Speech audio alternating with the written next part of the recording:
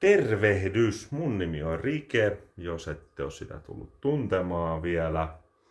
Mm, tänään on 22. joulukuuta 2023, eli jouluaatto on yli huomenna. 22. joulukuuta on siinä mielessä mulle vähän merkityksellisempi päivä, koska tänään on mun syntymäpäivä. Eli vuonna 85 niin tuolla Kuusankosken aluesairaalassa tai millä nimellä se silloin kulki, taisi olla Kuusankosken aluesairaalan kas, niin tota, näki rikepäivän valon. Eli 38 vuotta, ihan liikaa ikää, mutta no, turhaa sitä ressaa. Turhaa sitä ressaa, mutta tämä vuosi on, alkaa olla taputeltu, joulu on ihan ovella ja uusi vuosi kanssa. Ja Vuosi 2023 on ollut mulle kyllä paljon paljon parempi vuosi kuin 22 tai 21, jotka oli ihan hirveitä. Tai no en 22 nyt silleen, mutta sanotaan, että 21 on ollut mun elämäni ihan huonoin vuosi, ihan hirveä. Ja osittain myös 22, mutta nythän tää on alkanut taas rullaa ihan kivasti. On tässä ollut kahdeksan kuukautta ja töissä siellä on mennyt ihan mukavasti ja silleen, niin tota, kyllä se kuulkaas tästä. Kiitos vaan kaikille katsojille mukanaolosta, mutta synttäriolut on luvassa nyt. Salama Brewing, Espoo, mun suosikki panimo. Heiltä tulee aina näitä välillä näitä noita pullossa olevia oluita tää on mulle nyt ihan, ihan tota, tuntematon tyyli. Tän oluen nimi on Che Duivel. Tää on Red Wine Barrel Aged Old Bruin Style olut. Eli Old Bruin on tämmönen, mä otin ihan tähän läppärin. Niin se on tota, tuolta Pelkiasta tietyltä alueelta ja Tätä on ilmeisesti aika pitkään kypsytetty. Ja Red Wine Barrel Aged tosiaan 8,8, anteeksi 8,2 prosenttinen, eli melko vahva. Ja täällä on, että it undergoes a secondary fermentation. Joo, long aging process up to a year. Mut joo, tämmönen nyt yksi olut tähän iltaan. Minä haluaisin kyllä nyt tässä vaiheessa, minä alan tätä maistelee tätä olutta, mutta mut, mut oikeesti kiitokset kaikille. Mienpä avaan tuon ihan pieni hetki, tää on semmoinen askartelu. Siinä olikin vähän askartelua, tää, tässä on tonni tätä vahaa päällä ja kaikkea, mutta onneksi meillä on tehokas tiimi, joka suoriutui tästä tehtävästä, niin katsotaan. Joo, tää on tämmönen niin kuin se fermentoitu. Tässä on niin kuin semmonen kirpeä haju, luumunen haju. Siis Old Bruin on ilmeisesti pelkiaa ja se on niin kuin englanniksi Old Brown eli suomeksi vanha ruskea. Joo tämmönen. Se todella on ruskeeta. Haju on ihan miellyttävä. Me on kolmisen kappaletta juonut näitä fermentoitu pullohässäköitä salamalta. Tää taitaa olla neljä sit asiassa. Mut joo, jos nyt jutellaan vähän tästä, niin kuin, että miten tää on mennyt tää mun vuosi, mä vähän tossa jo avasin, mutta ihan kivasti.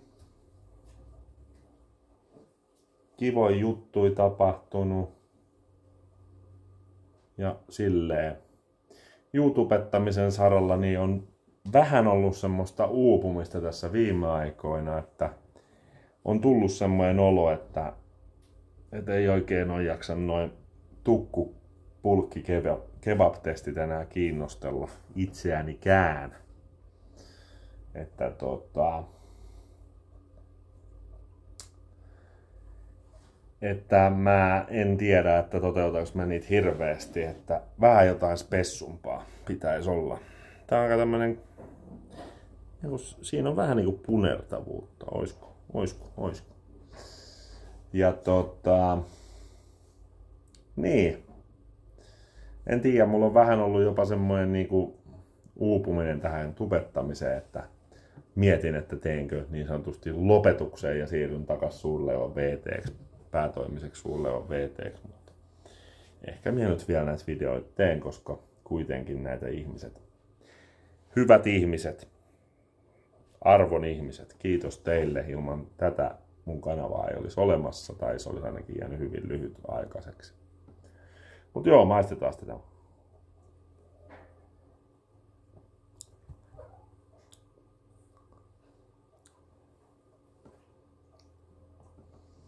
Ei paha. Tuohon tulee semmoinen mukava kirpeys tuolta. Semmoinen niinku, en mä tiedä, vähän niinku semmoinen etikkaisuus. Sieltä tulee luumuu minusta.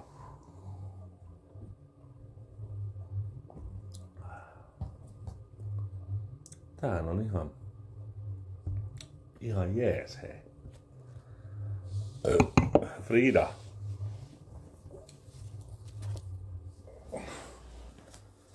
Heppa.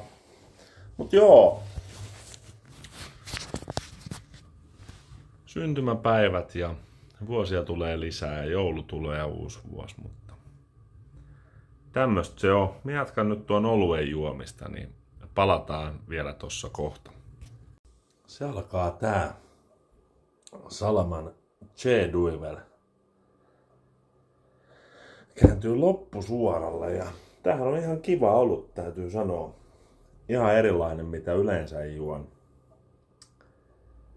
Mutta ei ollenkaan huono. Eihän näitä nyt niinku, tää yksi pullo illassa on oikein passeliannos, että tää ei mikään semmoinen dokaus ollut, mutta oikein kiva tämmöinen syntymäpäivän olut nautinto. Kiitos vaan taas Salama. Mutta tässä vaiheessa, sanotaanko, minä on varma, lähestulkoon varma, että mulla tulee vielä ennen vuodenvaihetta video, en tiedä mistä aiheesta, että en ehkä vähän autoaihetta tai jotain semmoista, mutta minä toivotan kuitenkin tässä vaiheessa niin ainakin oikein hyvää ja lämmintä ja rauhallista joulua kaikille.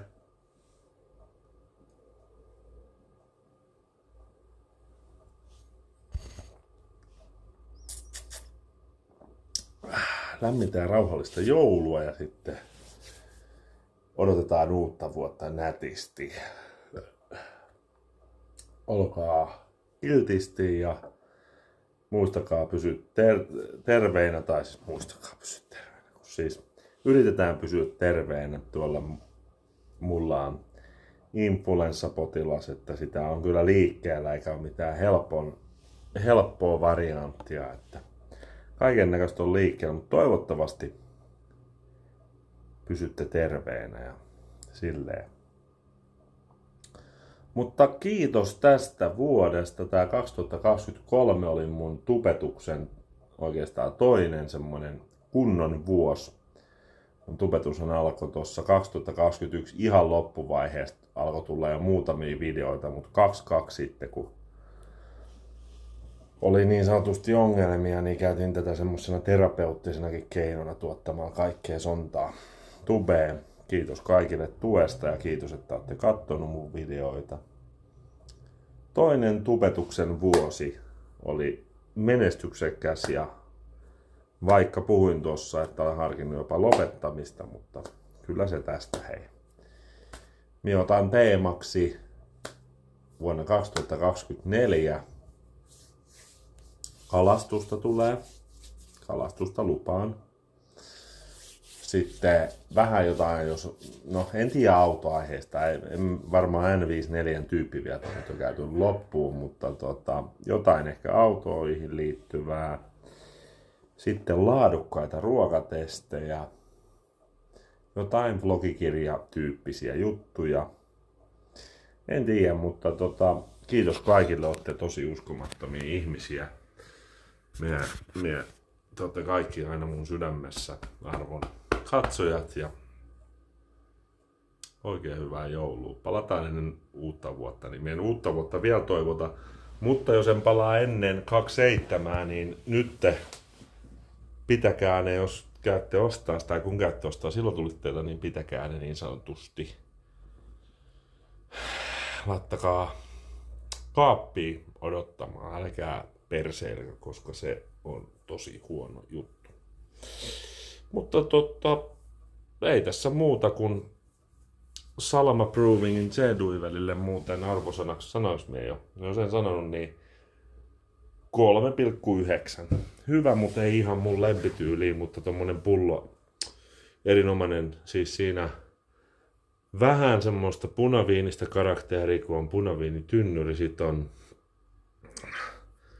mun mielestä vähän niinku luumua ja semmoista etikkaisuutta, kivaa kirpeyttä. Mä, mä dikkasin kyllä. Mutta joo, mielähän nyt tuonne ilta toimii, niin lähtekää teki mihin lähdet. Palataan. Kiitos kaikille, olette tosi super. Moi.